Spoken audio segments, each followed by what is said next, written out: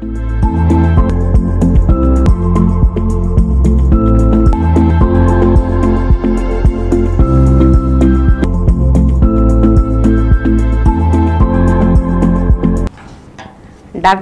Health ఛానల్కు స్వాగతం.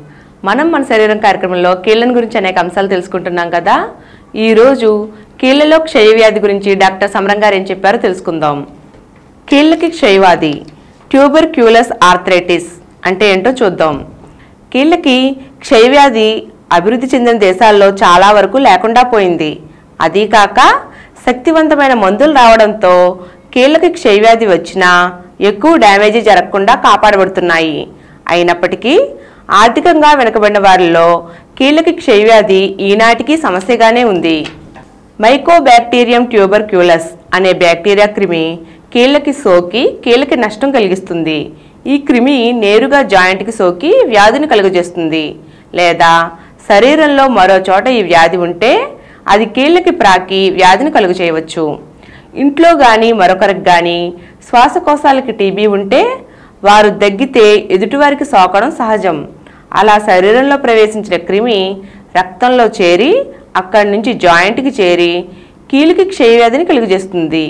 కీలులో synovial మెంబ్రెయిన్కి మాత్రమే క్షయవ్యాధి వచ్చినప్పుడు ఆ పొర మాత్రమే దలసరై ఉబ్బుతుంది. ఫలితంగా కీలు ఉబ్బి కనబడుతుంది.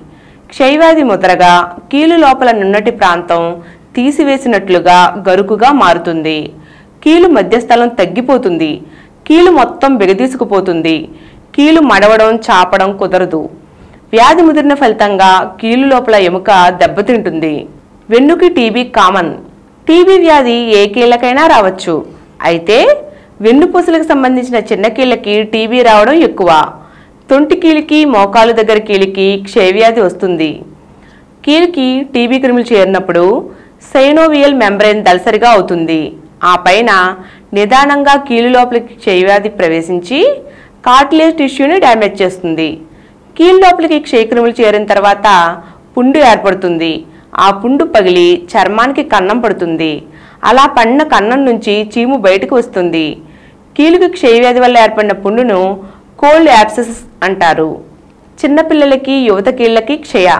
కీళ్ళకి క్షయవ్యాధి సోకడం చిన్నపిల్లల్లోనూ పదహారు నుండి ముప్పై సంవత్సరాల వారిలోనూ అతి సహజం. కీళ్ళకి క్షయవ్యాధి కలిగినప్పుడు నొప్పి ఎక్కువగా ఉంటుంది.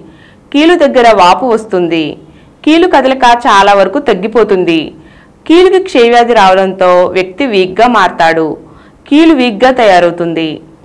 కీలుకి క్షయవ్యాధి వచ్చినప్పుడు ఎక్స్రే తీస్తే డ్యామేజీ తెలుస్తుంది. రక్త పరీక్షలో ఈఎస్ఆర్ రీడింగ్ చాలా ఎక్కువ ఉంటుంది.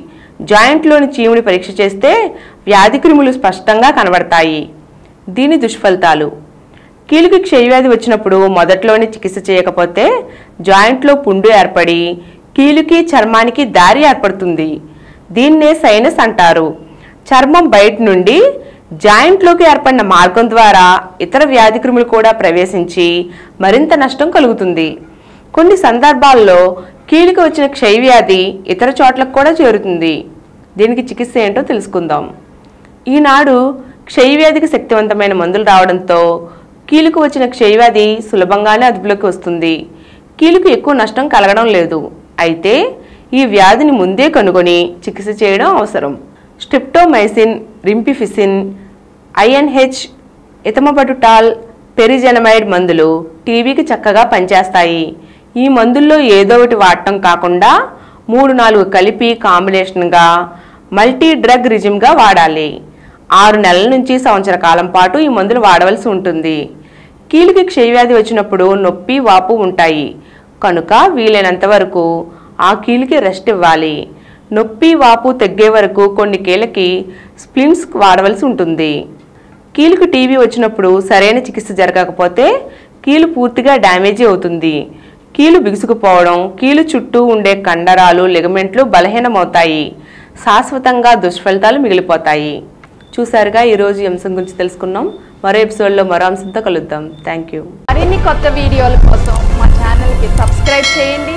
క్రింద ఉన్న బెల్ ఐకాన్ని యాక్టివేట్ చేయండి.